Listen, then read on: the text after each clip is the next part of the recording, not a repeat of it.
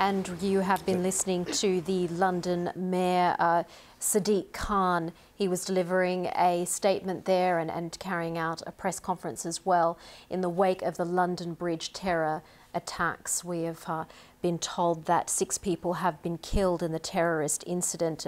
Some of the things that he had to say is that the UK terror threat is remaining at severe. Uh, and uh, the terror threat was brought down to severe from critical. He said that wasn't a mistake. That that change happened in the wake of the Manchester attacks. He also said that Londoners will see an increased police presence today as well. Now, we've heard that the Conservatives, the UK Conservatives, have suspended their national election campaign in the wake of the London terror attack. But Sadiq Khan said he wasn't an advocate of postponing the general election at all. So that was uh, Mayor Sadiq Khan uh, speaking. He said uh, one of the things we can do to show that we are not cowed is to vote in the general election on Thursday. So there's uh, been a lot happening today in the wake of the terrorist attacks on London Bridge. Let's go to Peter John. He is the leader of Southwark Council, the council where the attacks took place, and he lives close to the area and described what he saw.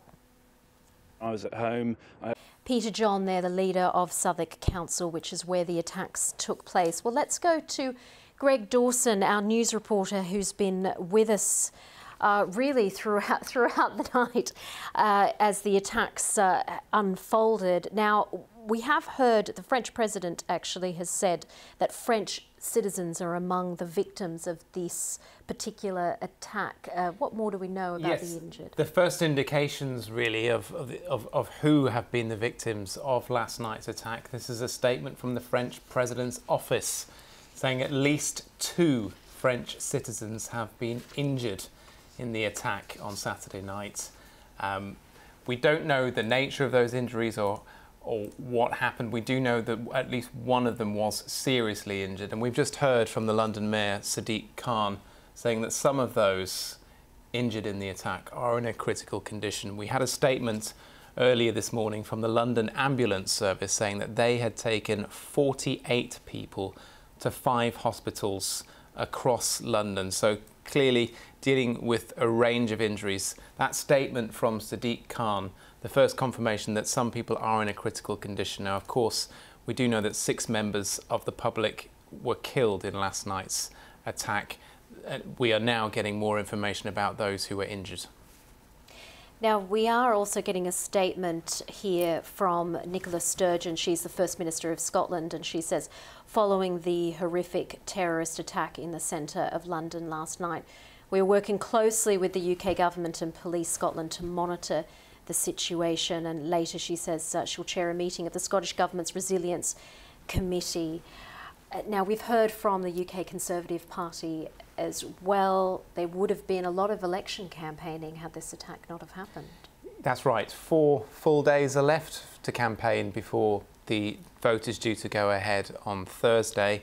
Theresa May was supposed to be leading a political rally later on today. The leader of the opposition, Jeremy Corbyn, was due to give his speech on Labour's plans for the UK economy it now looks very likely that neither of those things will happen. The Conservatives added, have added a, a slight caveat, and that they say that they will review this issue later on in the day. It's still very early in London and people are waking up to this news. Certainly for the first part of the day, there will be no national campaigning events. Now, there might be some local campaigning. You might get candidates knocking on doors throughout the country, carrying on as normal. Many people will be determined that this doesn't stop the process of democracy in this country. We just heard from Sadiq Khan saying he is not an advocate for any delay to the general election and that he's looking forward to voting. But I think what is likely over the next few hours is that the political parties will be processing what has happened and trying to work out when would it be appropriate to start having political discussions and talking about governing. just very briefly, describe what this area is like at London Bridge for people who don't know London. It's an incredibly popular area both with tourists and locals. It has the appeal of many pubs, several restaurants in the area.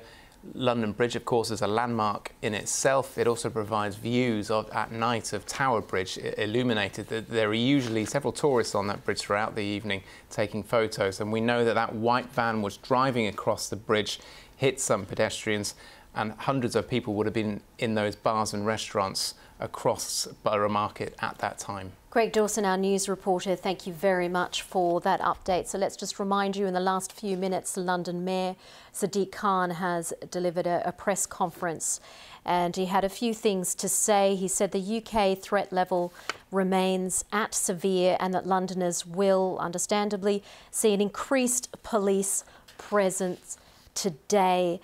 And uh, he also said that he uh, believes the general election, which is due to take place in a few days, should continue. Let's go back to Naga Munchetty now at London Bridge for more of her coverage. After these sorts of horrific uh, attacks and after Cobra, I'm sure uh, uh, the police will be making a statement.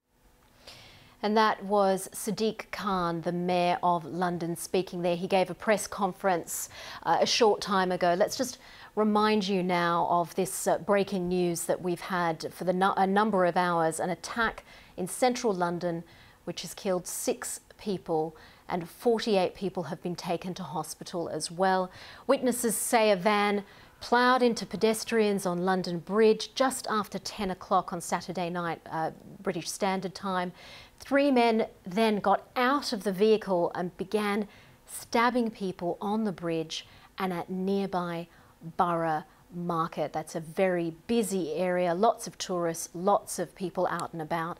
Now, all three attackers were shot dead by police within uh, minutes of, of, police receiving the first call. And we understand that uh, at least one of the attackers was wearing a fake explosive vest as well. Now, the government has called a meeting of its emergency security committee, uh, the COBRA committee, uh, and that meeting will be chaired by the Prime Minister Theresa May. And her Conservative Party has actually suspended its nationwide election campaign. If you're not aware, we were right in the swing of a general election. Polls, uh, people here in Britain, in the UK actually, are due to go to the polls on Thursday, so within a matter of days as well. Now, the Mayor of London, Sadiq Khan, uh, was also uh, due to attend the Cobra meeting. He is urging Londoners, Londoners not to be cowed by the attack. Uh, we have heard that some French citizens as well have been caught up in the attack, and the uh, Australian government is saying two Australians have been directly impacted as well. We'll, of course, keep you up to date with all of this. Don't forget, you can keep across all the breaking news at BBC Breaking on Twitter and, of course, on the website bbc.com forward slash news. All of the latest there, including a live page. You're watching BBC World News.